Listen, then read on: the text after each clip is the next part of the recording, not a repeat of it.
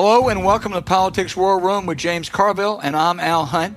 This week we are joined by Congresswoman Liz Cheney of Wyoming. Remember, we take your questions each episode, so write into politicswarroom at gmail.com or send a tweet to at Politicon for next week's show. We'll get to as many as we can, and don't forget to tell us where you're from. And please check out the link to this week's sponsor, Raycon, in the show notes. We thank you for supporting the sponsors. It makes this show happen. Please tell your friends about us and remind them to subscribe on Apple Podcast, Spotify, Stitcher, or wherever you get your podcast. James, uh, every week uh, we are talking uh, about uh, the efforts of Democrats to finally get some kind of social uh, infrastructure bill through and the tight Virginia governor's race. This is the same week. Um, uh, is, we have to do it again because those are the big stories after after the January 6th conversation we've had with Liz Cheney. Um, I feel again cautiously optimistic about Congress, although I'm really upset on the tax front. Uh, I think it is inexcusable that Sinema and some others, and even Joe Manchin here, are resisting what are really perfectly rational and good tax uh, increases to offset the awful Trump tax cut of 17. And I'm worried that now they're trying to turn to this billionaires tax. James, you and I would not be affected by the billionaires tax, unfortunately, uh, but uh, I worry that it's not. It's going to be difficult to enforce. It's going to not be workable. It could have legal problems. And the idea of returning the rates to what they were pre 17, is, which probably would affect us, is a very good idea. So I'm, I'm again, to repeat, cautiously optimistic, but uh, some of the stuff up there I don't like. Well, let, us start. All of my time in political consulting, when I was af- active, it, it, was always required on politicians to do tough things. All right, I, Reagan had to do the Panama Canal Treaty. I, I mean, I'm, I'm, sorry, Jimmy Carter had to do the Panama Canal Treaty. You know, Reagan had to do the Saudi uh, AWACS, I forgot what it was. It had, you know, fierce opposition from the pro-Israel lobby. It, it, it, and it was a matter of faith. It, to, you had to be for cuts in entitlement programs. If not, you, you, that was like being for segregation if you didn't want to cut entitlement programs. I mean, my God, we had to put a five cent increase in the gas tax in 1993 because no one would take you seriously if you didn't have some pain to the middle class. Right? That, that was just what it was. Uh, same thing was true with affirmative action or, or any number of things. Even even now, this is in addition to being good policy, this is enormously popular.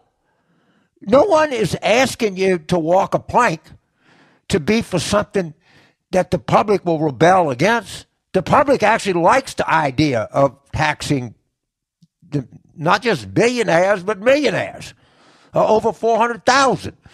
So this is what drives me crazy. But the, the point about the billionaires tax, it will get overturned in the Supreme Court but at least it will pass some kind of muster to having programs funded. And once you once you pass that, you, you even if it gets overturned, I think you're good by by, by the congressional rules.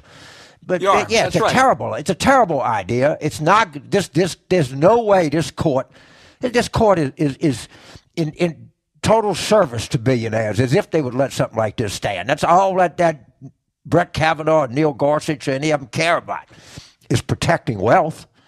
So it's it it'll get overturned. It's it's a terrible idea, eh, but the the real thing is to raise taxes on people making over half a half million dollars a year, which it has every is not just the right thing to, to do policy wise.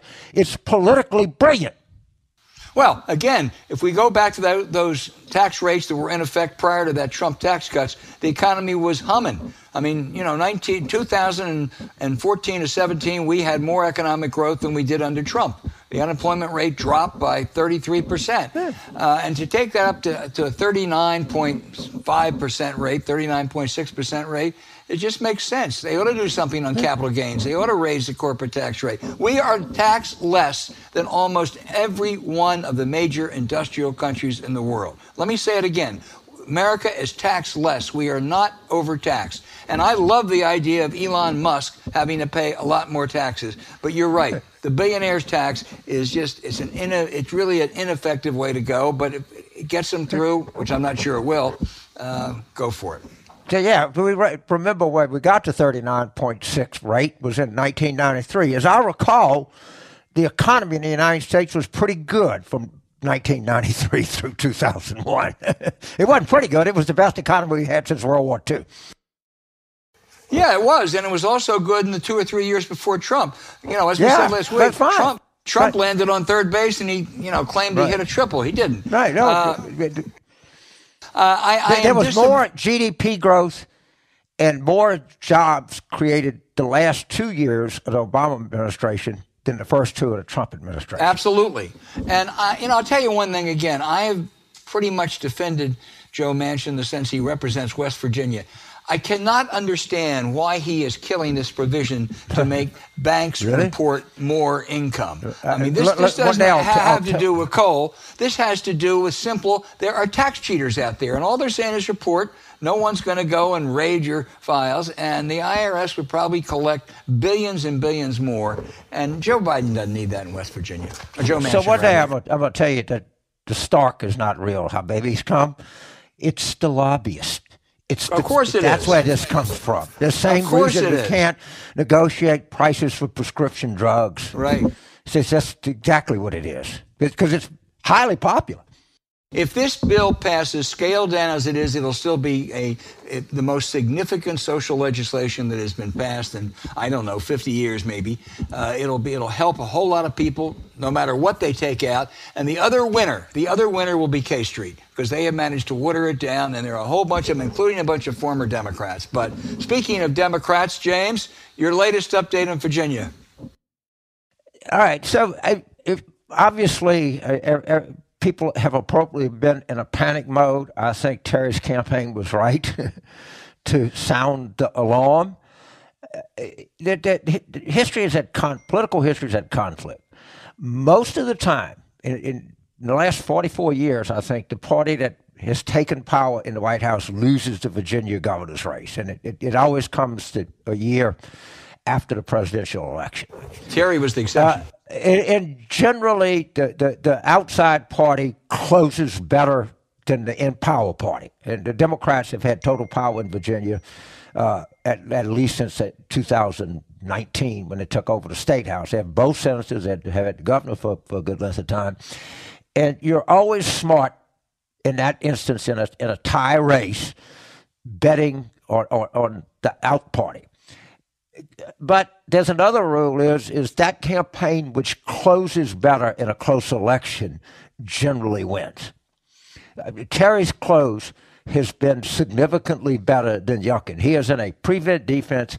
They're talking about Toni Morrison, uh, uh, some nonsense uh, in you know critical race theory, and somebody banning our book.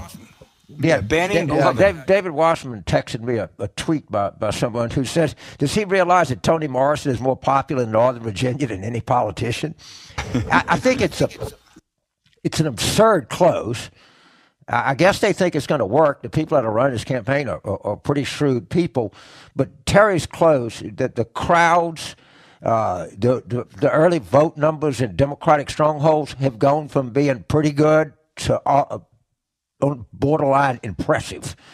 So I, that's what you are. You can take the you take the pick. What counts more, being on the out party when the end's in, that counts for something, or having a better close, which counts for something. So that, that that's the two conflicting things that I, I see here. I, I I'll say this right now: if we had any other candidate other than Terry, and, and you got to take out Mark Warner and Tim Kaine because they said in census, we'd have lost that race by seven and a half points. Well, I'll tell you this. Uh, just uh, we talked about this yesterday, James, on the phone. Imagine the headline on November 3. Two possible headlines. Number one, Youngkin wins in Virginia. Uh, I mean, there is a, a massive depression in the Democratic Party. The other one is McAuliffe wins, at which point, okay, we dodged that bullet. Uh, now we got a shot. We got to start building for 2022. Huge difference, even a point.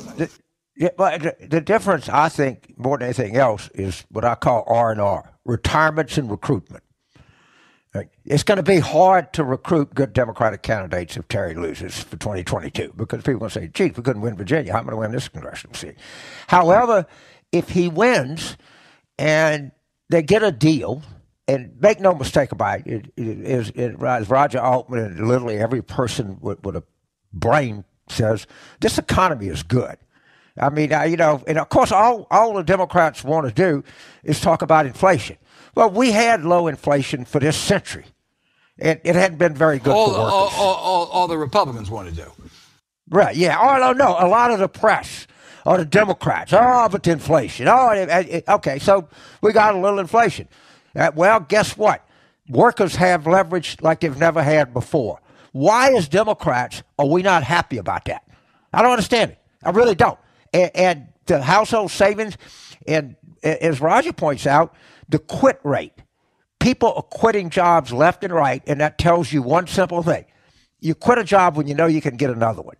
The, the, the operative piece of music for this era in America is take this job and shove it.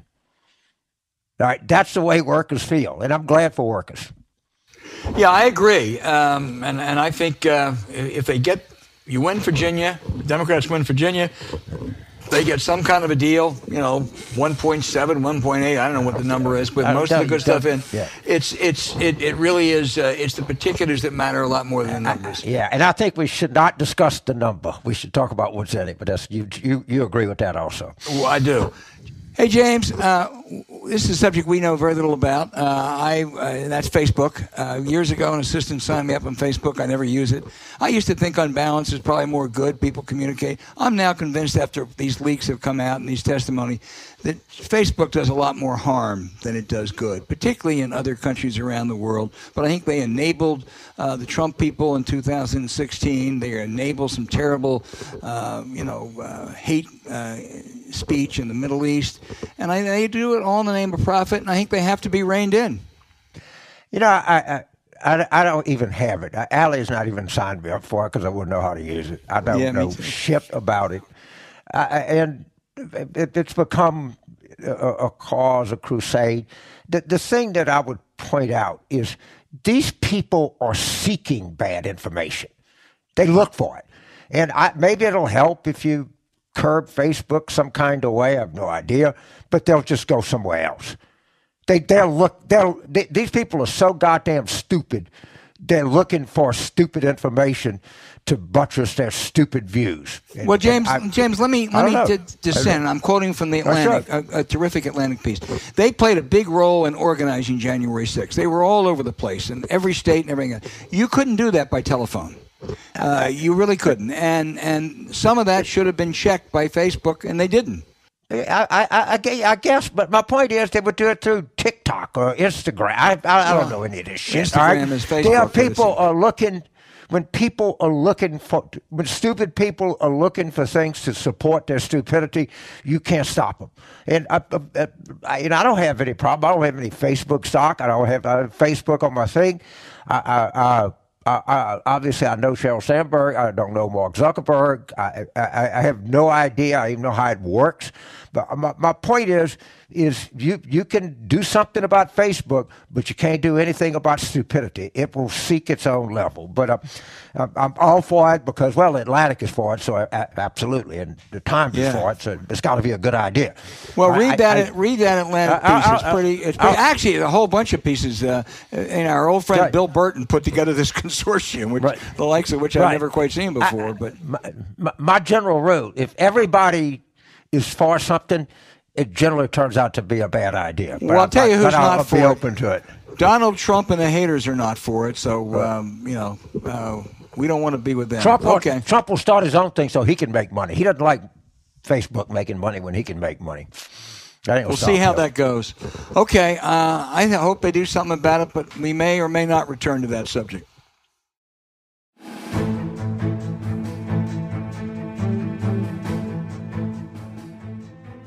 Hey, James, as you know, Liz Cheney had future written all over her. Speaker of the House, maybe a Republican president, smart, well connected, solidly principled conservative. Then she stood up to Donald Trump about the January 6th mob assault in the Capitol and the claims he won the November election. She was stripped of her House leadership role, and a Trump backed candidate has challenged her, her reelection. Most importantly, she is the vice chair of the special committee investigating the January 6 violence. Congresswoman, we really appreciate you joining two old semi lefties today uh, this conversation.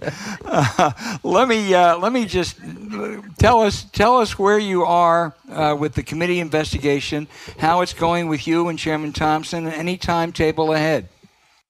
Well, thanks very much, uh, Al. It's it's great to be here with you and James. Uh, and uh, I particularly appreciate your describing me as the past tense in your intro. So, thanks very much.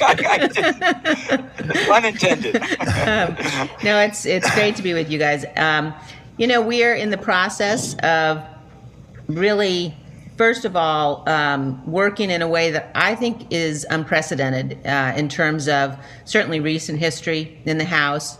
And that is uh, in a almost totally nonpartisan basis. It's not even bipartisan. It, you know, the committee works together as one. The Democratic members, the Republican members, the staff is one staff, um, and and I think it's it's you know the, the gravity of the of the issues with which we're dealing is is very significant obviously. Um, but it's also very refreshing to be doing it in a way that you know we're working together as Americans and not you know sniping at each other uh, in the hearings um, but really focused on getting to the bottom of, of the details and specifics of what happened uh, and making sure the American people um, have the information that they deserve to have about what led to the attack on the Capitol and uh, and who who caused uh, the specifics of it and the details of it and what happened every moment of the day. Well, uh, Trump and Bannon, uh, as you well know, are resisting everything, hoping to run out the clock. But there was a whole war room uh, at the Willard Hotel and elsewhere planning a coup to overturn the election and tied into the January 6th mob assault. Can you tell us, are you getting cooperation from any of those other uh, uh, coup members, any of those other conspirators who were participating in that act? Well, uh, yes, we are. First of all, you know, I wouldn't um, jump to describe it the way that, that you you did necessarily, and I think it's important for us to get to the facts. Um, I think that if you look at uh, what happened between the election and January 6th, it's very clear that there was an effort underway, uh, and this is why I voted to impeach the president, um, but that there was an effort underway uh, to overturn the results of the election and to ignore the rulings of the courts. Uh, and to go through a whole process that you know we're beginning to get the details of in terms of things like uh, John Eastman's memo, um, the suggestions and the pressure on Vice President Pence and on local officials to overturn the election, to change the, to, to reject the slates of electors that they had approved, and to try to put in place new slates. So there clearly was a large effort underway. We are getting additional information uh, and talking to people who were involved. Um, there are a number of people who are coming forward voluntarily, uh, others that we have issued subpoenas uh, to uh, and um, you know some who are responding to those subpoenas in ways that um, that reflect a recognition that you know it's people's patriotic duty to come forward and, and tell what they know about the events that led to the attack on the Capitol. There are also reports, Congresswoman, that some of your House colleagues may have worked with the uh, people who engaged in the January 6th assault. Um, could you call them to testify and subpoena uh, them uh, if necessary? We will absolutely um, be uh, ensuring that we get the testimony of anybody who's got uh, relevant information, and that includes members of Congress. Um, we've talked to uh, a number of people already, um, some uh, people on the Hill, including staff um, and will continue to do so. And again, in some cases, and I would hope in every case, people would come forward. I mean, this we have to be really conscious, I think, of not letting this devolve into into into partisanship. And um, there have been too many efforts already uh, by Republicans, by members of my party, uh, to attempt to delay, uh, to attempt to thwart to attempt, um, in some cases, to obstruct uh, the investigation, and and I think we've got to make sure um, that that we don't put up with that, and that we encourage people who've got information to come forward. And our preference is certainly that they do that voluntarily. Okay, so, so Congressman, uh, you're the House leader, Republican leader Kevin McCarthy, and the whip, uh, who I could live right close to his district. I used to live in it, know him quite well. Steve Scalise have said, well, we should have a bipartisan committee look into this. Is there a flaw in that argument? Because I think there is. well, of course. I mean, look, we started out with the idea. If you look at what uh, Kevin McCarthy said on January 13th on the floor of the House, he called for a commission to look into this. And then he um, instructed uh, John Katko, the ranking member of the Homeland Security Committee, to negotiate with Bennie Thompson, the Democrats, to come up with a bipartisan commission. And it was modeled very much after the 9 11 Commission. Um, you know, equal numbers of members, Democrats and Republicans, not currently serving uh, subpoena power that would require the agreement of both parties. The Democrats essentially took every proposal that we made and they agreed to it.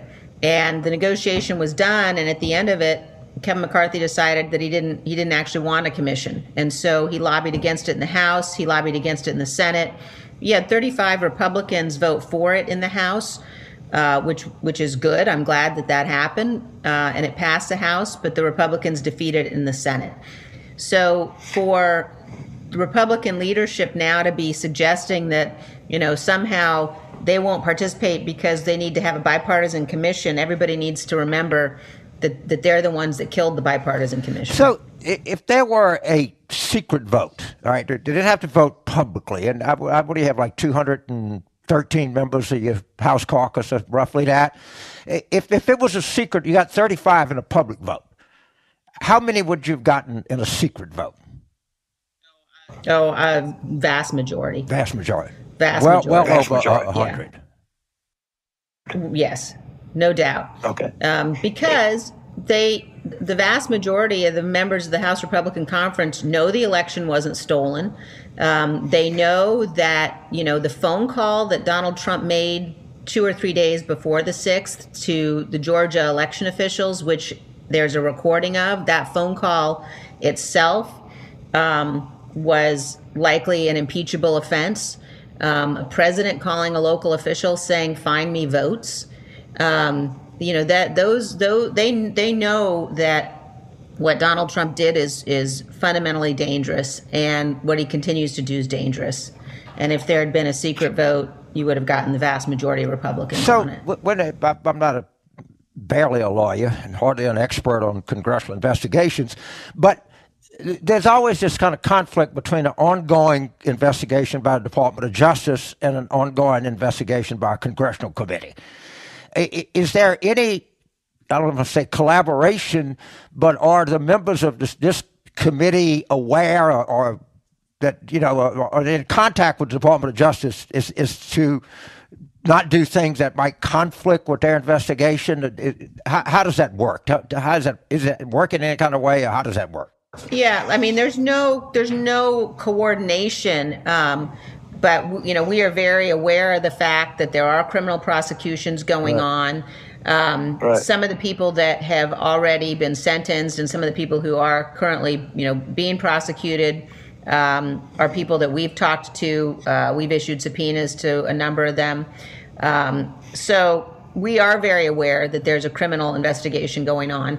Our purpose is different. Our purpose, is, you know, we have a legislative purpose, and that is to determine, um, you know, what happened and what legislative changes might be needed to help prevent this in the in the future. And so, you know, even though the Department of Justice has got a criminal investigation underway, um, their investigation does not extend to things like um, if the President of the United States fails to uh, send assistance fails to do his duty to defend the Capitol, for example, when it's under attack, um, as as President Trump did, um, that's clearly a dereliction of duty. Uh, are there additional criminal penalties, for example, that that are necessary um, to help enhance um, the criminal law with respect to something like that? Um, we're looking at the 1887 Electoral Count Act and whether or not we need to make uh, amendments to that in order to ensure that um, you know in the future um, this kind of objection to electors um, isn't uh, so so subject to potential abuse. Um, so there are things like that that are specifically a legislative purpose, and those guide us. Um, you know, we clearly have oversight authority in terms of getting to the bottom of what happened with this attack um, on the Capitol. But it was also an attack on the Constitution and an attack on the, the constitutional process. And so those those things uh, also are part of of, uh, of our agenda and our purpose. we may well be in a position where uh, we are, um, you know, uh, issuing criminal referrals. That could well be part of our final uh, our final report. So they're they're linked and connected, um, but but they're different different branches of government, different areas of responsibility. So I, I, I, take it that if you, you sense or, or, the committee senses that there's potential criminal exposure, that you will make referrals to the Department of Justice. Absolutely. All right, Alan, give you one more, and I'll come back with another one. Yeah, um, Congresswoman. Uh, we mentioned Kevin McCarthy earlier. He he is really going all out uh, after you. He's had one of his lackeys tell Republican consultants that if they work for you, they won't have any other uh, uh, jobs. Um, how is that going over in Wyoming? You know, look, I um, the people of Wyoming really couldn't care less about sort of that inside the Beltway, Washington right. machinations. I I do think though that it raises real questions. It raises real questions when you have the leader of, a, of, of, the Republican Party who is perfectly happy to help to support, to keep inside our tent members who are anti Semitic, members who are racist, members who are white supremacist, clear bigots. Um, yet, uh, you know, he's, he's decided that he's going to go after me, apparently because, uh, you know, I believe we need to know the truth about the president, President Trump's responsibility, uh, the truth about what happened on January 6th on the attack on the Capitol. I think it tells you something about um, about you know the the really um, dangerous situation the Republican Party is in today. That that's the choice that the leader in the House has made. Yep. Yeah, it does. And yet, you know, when I look around um, in House races, also Senate primaries, uh, you know, sometimes the debate in the Republican primary is who is more Trump. Uh, and uh, I thought he would, given everything, that he would he would not disappear, but you know, it would it would be a diminishing asset. Um, does it worry you that it's not?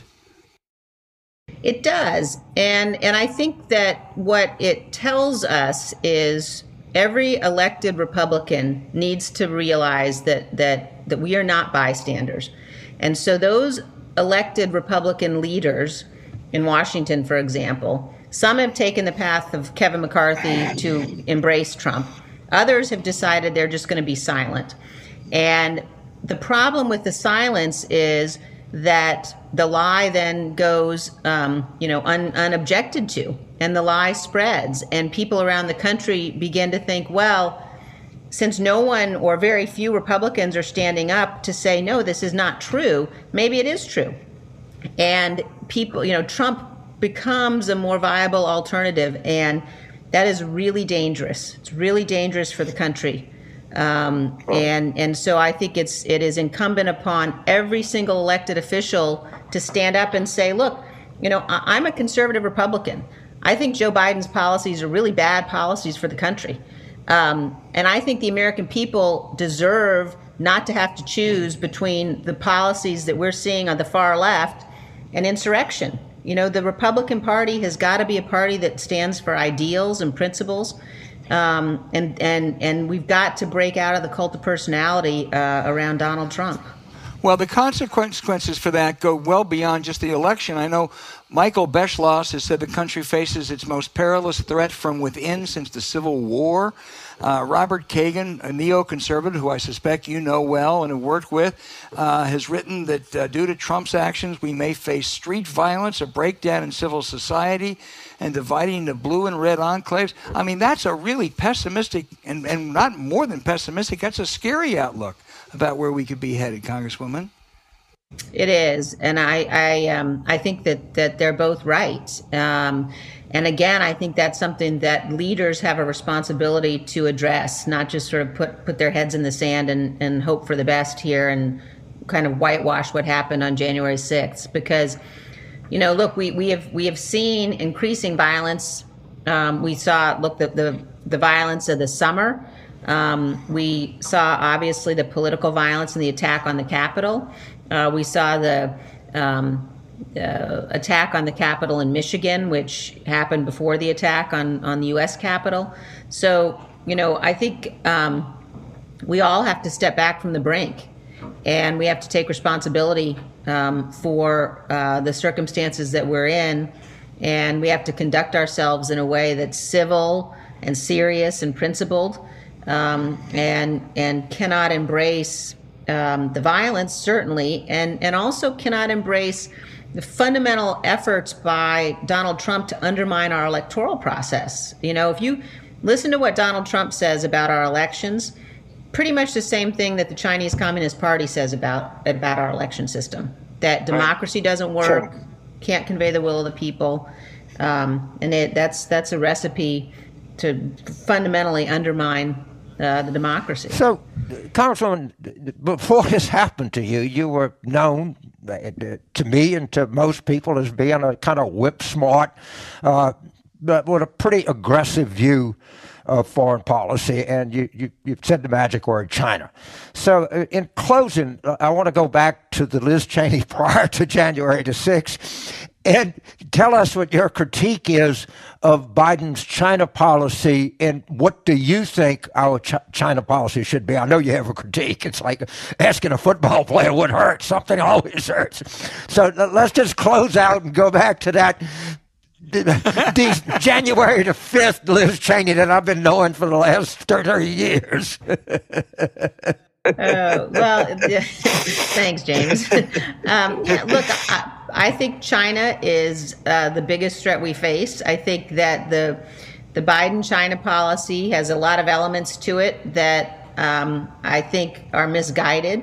Um, and I, I, think if you look, first of all, for example, at the defense budget, um, the extent to which the defense budget they proposed was insufficient.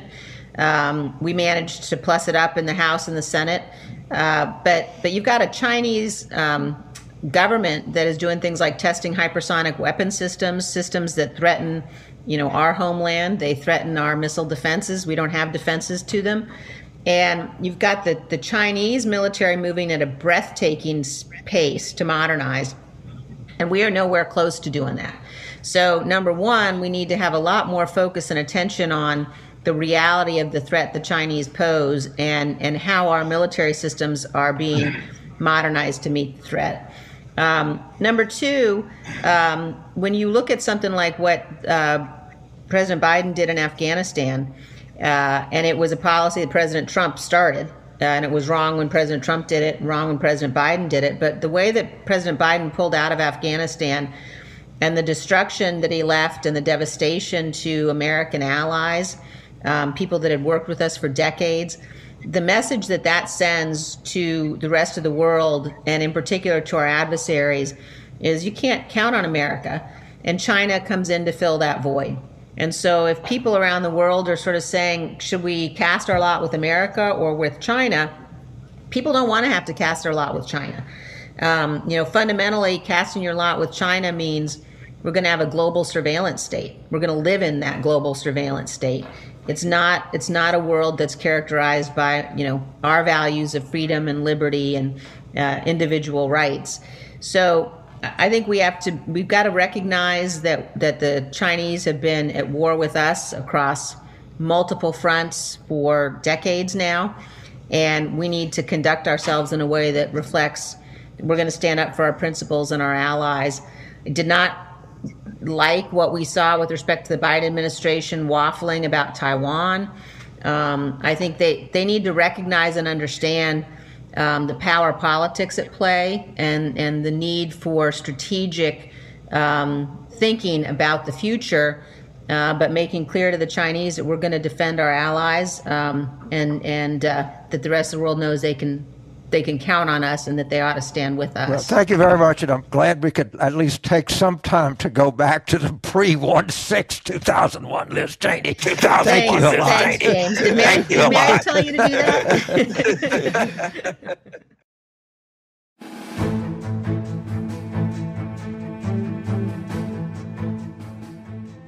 Okay, James, we got a bunch of good questions. Uh, most of them this time, actually all of them, uh, are from from the continental U.S. Uh, usually we go overseas, so we'll be back overseas next week, I suspect. But Mike in Indianapolis uh, asked. He says uh, he's he's a uh, sounds like he's a Bernie Elizabeth Warren Democrat. He said in 2020, progressive Kara Eastman won the primary in Nebraska's second congressional district, a swing district. The former Democrat rep then endorsed the Republican. The same thing has happened, he says, in Buffalo, New York, where uh, uh, a left winger progressive won the mayor mayoralty primary. James, uh, you and your guests frequently remark that progressives, Democrats, socialists don't win the races they run in, uh, except in solidly Democratic districts. But when establishment Democrats put their fingers on the scale against them, what should younger progressive candidates think about these older establishment Democratic Party members who undermine their rise? Well, uh, thank you for the question. And uh, I, in the overwhelming number of cases, in the most prominent being the presidential primaries of 2020, the Democratic Party was very clear in the direction it wanted to go in it wanted, and I guess I don't know. I guess I'm an establishment Democrat, whatever that means. Uh, Carville, Louisiana, LSU is establishment. Okay, that's that's fine. Uh, they have decided overwhelmingly. Bernie Sanders, Elizabeth Warren, everybody got a chance to run for president, and it seems to me that the many of the insurgent Democrats don't respect Democratic voters because Democratic voters were very clear in the direction they wanted the party to go in. Even Democratic voters in New York City were very clear. Uh, you, you, can have circumstances anywhere uh, where something happens, but I would tell my leftist friend that, and I, I am not a moderate, I am a liberal, but I'm not a leftist. And liberal, the, the Democratic Party is very clear that it wants to go in a liberal direction, not a leftist direction, would be my answer. Um, James or Jimmy, as Tony Blair calls you, I would, uh, I, would I, would, I would, I would concur, um, and I think that that's the way Biden is governing. He's he's governing as a liberal. There's some complaints that you know Elizabeth Warren uh, is able to tap some people or recommend people who are appointed to top jobs. Well, Elizabeth Warren is a faction of the party. I mean, she really is. She's not the dominant faction of the party, but if three or four Treasury aides uh, or assistant secretaries uh, are Warren acolytes, that's as it should be. It is. It's a cliche, no, but it is a Big Ten. But Biden is I, not governing as a left winger. He is governing as a liberal, a progressive a real liberal. And, and Senator Warren is a significant uh, voice in, in, in, the Democratic Party, and she, she should be, particularly on, on, on these matters. She's probably the smart, smartest person in the country on, on this kind of stuff, and somebody'd be a fool not to listen to her. Absolutely. Jordan in Washington D.C. We're going local now, James. I wonder right. if that's my old old student, uh, Jordan Grossman. Here come, he, he, he says he wants to. We want Manchin and Sinema to have less influence, the only way to fix it is to stop griping and elect more Democrats to the Senate. Same goes for the squad in the House. A real Democratic majority in both houses of Congress is the only way to break this outsized influence. But how can we change the narrative and get more Democratic leaning voters focused and energized? Well, Jordan, first of all, you're absolutely right. If you're talking about the Senate, uh, I'll give you four, maybe even add a couple more answers. Pennsylvania, Wisconsin, North Carolina, and Ohio. All are states where Democrats could win next year in the Senate and would change the body significantly. And I wouldn't give up on Iowa. Chuck Grassley will be 95 when the term when, when his term ends if he's reelected. You know, he seems to drool a lot now and say silly things. So I don't think that's a lost cause. And I'll tell you, Missouri, which is a really red state, but they have that former uh, ethically, to put it mildly, challenged governor uh, to the right of Trump running. Uh, and don't forget that uh, Claire McCaskill and Joe Donnelly won when they ran against uh, crazy right people. So you're right. Absolutely, Mike, or Jordan, rather. That's what you have to do. You have to focus on those races. Yeah, I, I would recommend a piece uh, in New York Magazine by Eric Levitz. Yep. uh, which definitely gives you the parameters of the internal argument in the Democratic Party. And I, I clearly come down on the side of uh, David Shor. Uh, but but it, it's worth reading because I, I think it, it very much illustrates the, the, the, the, internal argument in the party. And I don't think it's really close as to who's right. Uh, I, I, I love the fact that David Shor said it. He, of course, he did it as a client, and it became a thing that what Democrats should do is take polls, and when something is particularly popular, we should run on it. I think that was been done before, but I'm, glad that David did that. And he is a, you know, by everybody's estimation, you know, one of, if not the sharpest data scientist in the party.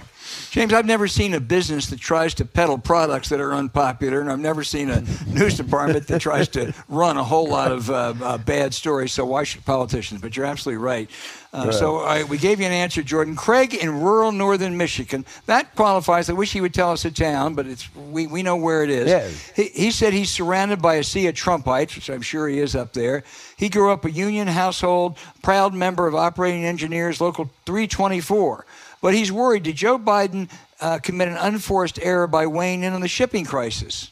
I don't get that, but James, what do you think? I, I, I don't either. And, you know, we've been trying to get uh, a guest, and if uh, Secretary Gina has somebody listening, we'd love to get you on the show.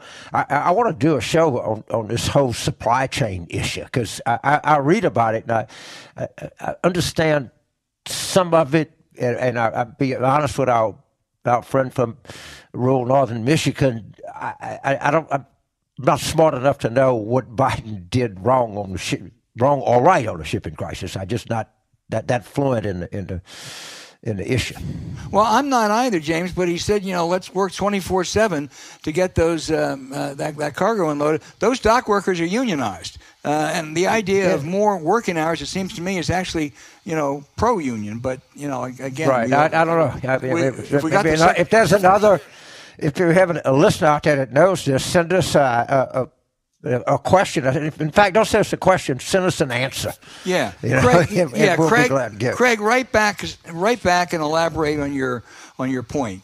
Um, we take it seriously? We just don't know. Yeah, exactly. Lack Elizabeth, of knowledge has never stopped me from commenting on anything. It's just complete lack of knowledge that is little that that would be a disqualifier a for this chilling, great podcast. Yeah. Uh, James can't do that. Elizabeth in Atlanta, Georgia says, "Do you think Tim Ryan of Ohio would be a viable 2024 Democratic presidential candidate? I've seen some of his speeches on YouTube, and he seems like the type of person who would appeal to both sides." Elizabeth Focus on 2022. Get Tim Ryan elected to the Senate. Don't focus on 2024. If he gets elected to the Senate, uh, my guess is he's not ready to run for president. There'll be others who are.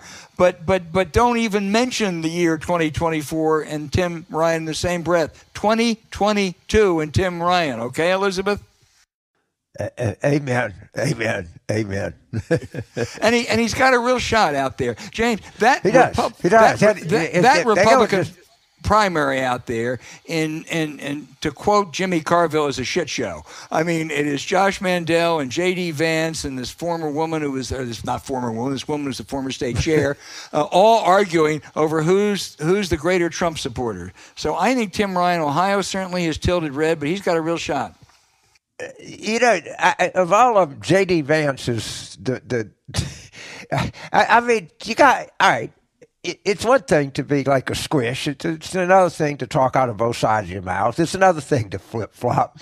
It's quite another thing to be the most blatant hypocrite to be running for public office in this entire cycle, and that, that's a high bar to clear. I think J.D. Vance does it. He wrote a most accounts, a kind of thoughtful book on the plight of the white working class in uh, southeastern Ohio.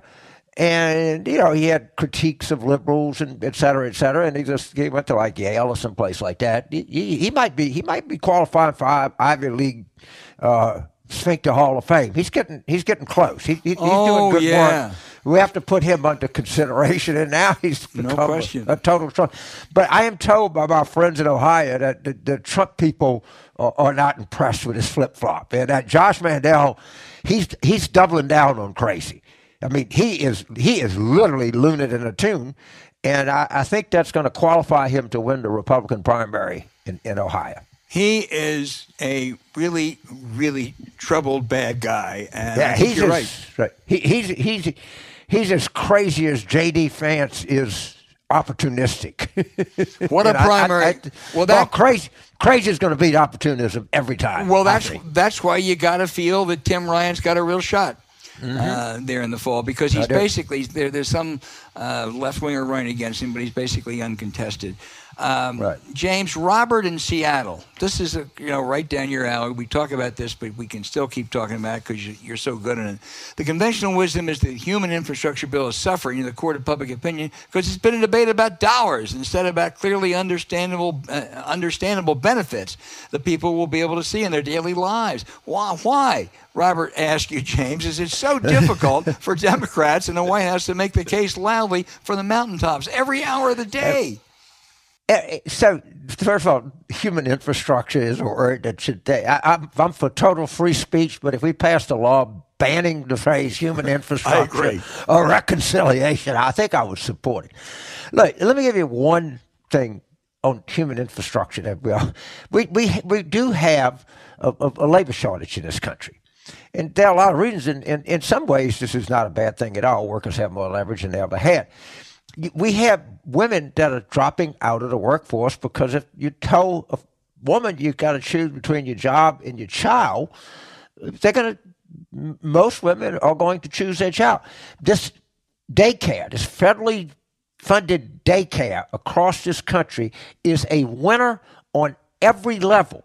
First of all, it would put more people in the workforce, more people earning, more people paying payroll taxes, Social Security, Medicare, more people paying sales taxes, et cetera, et cetera. We now know it was some debate for a period of time. It is no longer a debate. These programs help. They help in the development of these children. They have better social outcomes, better mental outcomes. They're less likely to get sick. They're less likely to commit crimes. And this is not a, a program that costs anything. The, the payoff to society, to to in, employers, to the tax base, to outcomes is hundred percent guaranteed to be good. And I, I, I, why Walmart and Target and Amazon and everybody else is not beating the drums on this, I, I, I don't know. I, and I hope that the White House is really aggressive point. Is, this is one of many things that we use the, the, the HI word that I'm not going to use anymore because I've, I've banned it from the English language. But that he is exactly right, and that's the kind of stuff that gets me on fire that we need to talk about. Yeah, I agree. Mitch McConnell said the other day that uh, the public doesn't want this stuff. Uh, I want Mitch McConnell to tell us the public doesn't want universal pre-K. I want Mitch McConnell to tell us the public does not want an expanded child tax care credit. I want Mitch McConnell to tell us the public does not want Medicare to negotiate lower prescription drug prices. Of course, the public wants that. And what McConnell, the reason McConnell has been able to get away with that so far is exactly uh, what the uh, what the listener wrote in. Uh, they keep talking about the size, and I, I, I, think it's changing. And I think if it's enacted, which I believe it will be, every district ought to talk about what this will mean for people in your district because there are very few yeah, that right. won't be significantly enhanced. I, I suspect there are Republican legislators in Oklahoma and West Virginia, and they have universal pre-K. They do. Yeah, I ought to think of Oklahoma as, as being, you know, Seattle. it's not the it's not the People's Republic of Oklahoma. Uh, no, no, that's for sure. Um, uh, speaking of West Virginia, John in Chicago and William in Sandpoint, Idaho. I'm going to combine these questions. Right. John wants to know uh, or suggest the DNC needs to find a laid, a laid off West Virginia coal miner and run him in a primary against Joe Manchin. And William in Sandpoint said, uh, "Why isn't Biden's team instead of being all over? You know, why aren't they all over West Virginia like a cheap suit, saying some version of, hey, this is what you get there? You know something? Joe Biden is the best you're ever going to get if you're a Democrat from West Virginia. If you want to tilt at windmills, you get some retired coal miner, out of work coal miner to run against him. Ain't going to matter.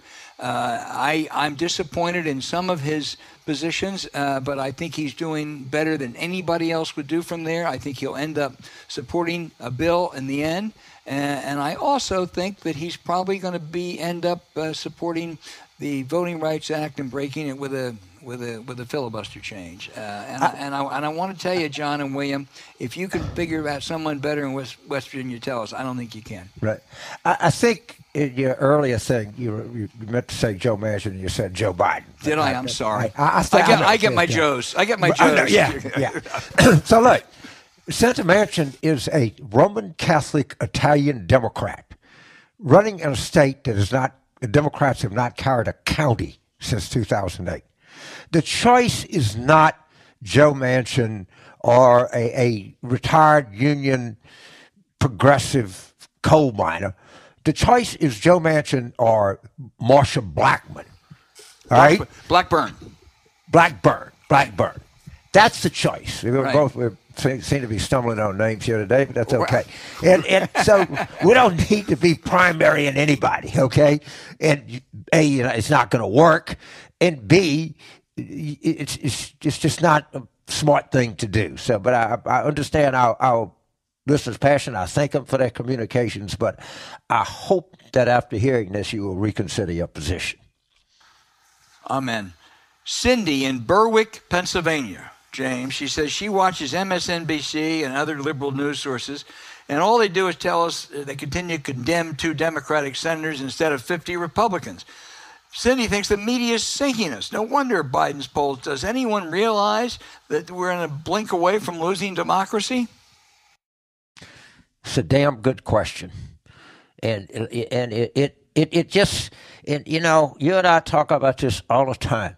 The, the media, the liberal media, whatever it is, okay, they love to criticize Democrats. I, I've not against criticizing Democrats. I've done it on, on any number of occasions. But the idea that it's it's this both siderism, but yeah, well, you got some, you know, James, uh, okay, there's some crazy Republicans out there, but but you got to admit there's some, some crazy Democrats. Well, okay, there's some, not very many, and they're not nearly as crazy as these Republicans. And in the New York Times this week did a story that said it is the ultimate in both sidism. And I, I, you know, you know, I have complicated views on the Times. I have some really good views about him.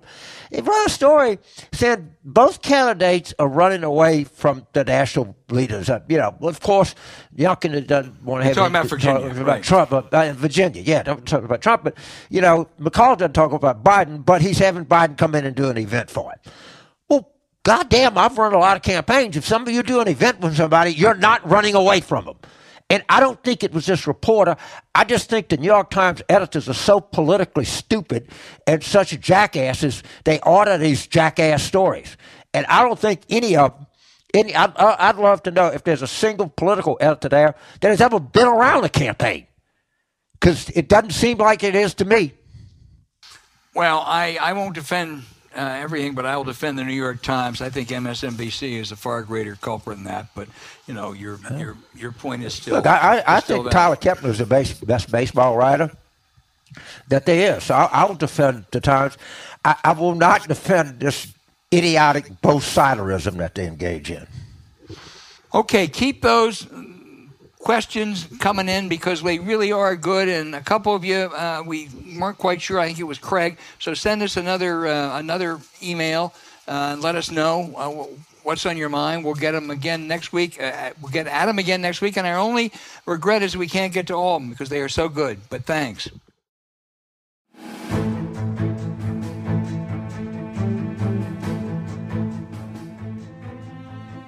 Hey, James, no matter what's going on in the world, sometimes we just need to tune things out and get back in our zone. The best way we know how to do that is to put in some Raycon earbuds and play something we love. Whether you use them to pump up, wind down, work, or work out, Raycons are the go to for on the go audio. And their new everyday earbuds look, feel, and sound better than ever. They have improved rubber oil look they feel like they aren't even there thanks to their optimized gel tips for the perfect in ear fit. It feels good even before you hit play, but when you do, Raycon now has three new sound profiles, so you get just the right amount of bass. They have pure mode for podcast listening, blues, and instrumentals, balance mode for more podcast, rock, heavy rock, and metal, and bass mode for hip hop, EDM, or reggae. And when you're working, and this is the one we love, there's also an all new awareness mode for when you need to listen to what's going on around you, too. Raycons offer 8 hours of playtime and a 32 hour battery life with a built in mic so you can take calls on your earbuds at the press of a button, right, James? You know, this, this product violates one of my absolute rules in life. If something is too good to be true, then it's not true. All right?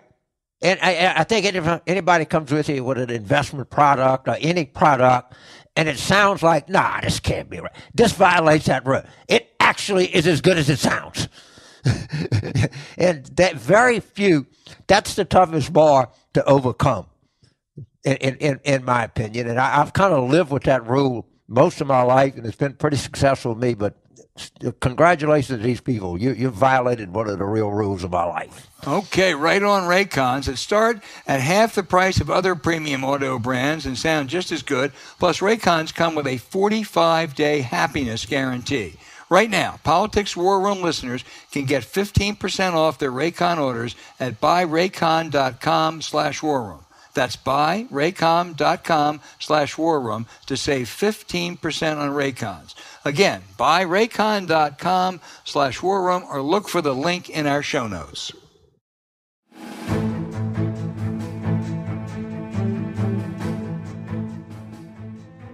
Hey, now for the outrage of the week. I have so many, I'm going to just get into three of them. Florida Governor Ron DeSantis is offering police officers 5000 bucks uh, if they come to the state if they haven't been vaccinated. Uh, DeSantis says, "Boy, look how good Florida is doing on COVID." No, you're not. You done. You did well for a couple weeks, but you have over the course of this a much higher rate of both incidents and deaths than California or New York. I mean, I guess the POS come to Florida. You police officers are unvaccinated. Your odds of dying are better. My second one is Donald Trump Jr. A terrible tragedy occurred in New Mexico when that that brilliant young cinematographer was killed uh, when a, a, gun was loaded was accidentally given to Alec Baldwin. And of course, what did Donald Trump Jr. do? He just immediately said, Guns don't kill people, Alec Baldwin does. To, to seize on and to celebrate a tragedy like that for political gain just shows that Trump inherited his father's genes. And finally, it's the NFL Commissioner Roger Goodell who continues to cover up a report on the toxic environment and, and, sexual abuse that took place with the Washington football team. He thinks the public doesn't have a right to know, as the owner, Dan Snyder, continues to basically go unpunished for this. If you care at all about transparency, pressure Roger Goodell. James. So, uh, actually, I have a, a, a good news story. Uh, today, uh, I'm at Tulane School of Public Health at the request of the great John Barry, who's on the faculty there. And a neighbor uh, I'm going to be, uh, I'm going to be interviewing a, a, a, author by the name of Pam Fessler, and Pam has a book out, and the title is called Carville's Cure. It, it actually doesn't have anything to do with me. I quoted in it, and that's about it. it. It is about the place that I grew up and about the remarkable history of Carville, Louisiana, with reference to the Center for the Treatment of Hansen's disease, or, or better known as leprosy. And and I read this book and just think back of what the remarkable place, what a remarkable place that I grew up in, and didn't even realize it at the time. It's now it's been closed since to, to, to treating Hansen's patients since 1994, and it's the Louisiana National Guard has it, and I'm here to tell you that they're keeping it in excellent condition. You will learn so much in this book. And the thing that sort of struck me that I knew and I never really thought about it is how many influential and strong females that were associated with Carville, Louisiana. And her her story is really interesting because her husband's grandfather was actually a patient at Carville, and she's an experienced journalist. She was 28 years at, at NPR. And this is just a, a, not just saying it because it's about my hometown. I'm saying that this is a remarkably reported book uh, that just brought back so many memories of my childhood and, and taught me so much history about Carville that I didn't know. I, I couldn't recommend this book highly enough. And if any of you out there interested, I, am pretty sure if you go to the site for uh, Tulane School of Public Health, which is quite good, by the way, uh, that it'll probably be streaming. But uh, you will want to hear from Pam, and you'll want to hear this story, and I guarantee you, you, you will find this book to be fascinating. Boy, that's an inspirational uplift. We needed that, James, and uh, everybody uh, ought to ought to ought to read that book. And uh, when when is your forum, James? It's today at five o'clock Central, so it'd be right. six. Um, the, the, jacket blurbs are, are David Maraniss, uh, Ron Klain, E.J. Dionne, uh, Susan Stamberg, uh, the, Meredith Wadman, who is the Science Magazine reporter and author of Vaccine Race. And, and, the jacket blurbs are unbelievable, and the book is, is just compelling. It, it, it it's an easy read, and boy, you you will you will see some some great stories. The story of Joseph Joy Guerrero is like one of the greatest stories ever told. I'm, I'm going to just take a point of privilege here to tell you. So pre World War II, Manila was a first of all it was a gorgeous city, colonial architecture, and it, it, of course the Japanese destroyed it, and, and it, they had a social structure that a lot like New Orleans. If you were in the one percent, you had a hell of a life. And, uh, and Joey Guerrero was actually a debutante. Her father was a very prominent. Uh, I think he was a investment banker or something like that. Doesn't matter. And she contracted leprosy and became disfigured. And the Japanese, with such horrible racists and horrible, you know, thought people disfigured. And what they found out is that she could get through any Japanese sentry point they just let her through. They didn't want to fool. And she carried messages to the back and forth for American troops. And when the war was over, the, the, the troops, I mean, I'm talking about the E4s and E5s. This wasn't General MacArthur, Admiral Nimitz, a, a John C. Marshall, anything like that. They passed a hat and gave her the money to go to Carville to be treated. And she lived her days out there. And President Truman in 1948 awarded her the Presidential Medal of Freedom. I mean, that's what a big deal that Joey Guerrero was. And that's just one of the stories about remarkable females that, that were at Carville. And, and I, I urge everybody to read this book because to, I, I just think of what an effect it had on me growing up in a place like that. Tell us the name of it again, James. Like it's called Carville's Cure. Okay, Carville's and Cure. It's, and it's Leprosy, Stigma, and the Fight for Justice by Pam Fessler, F E S S L E R. Okay. And it should be on the 6 o'clock Eastern, 5 Central, Good. Tulane School of Public Health. Put it on your reading list. Yes, sir, for sure. We'll try to get Pam on the show at, at some point because the stories in there are just too compelling to, to believe.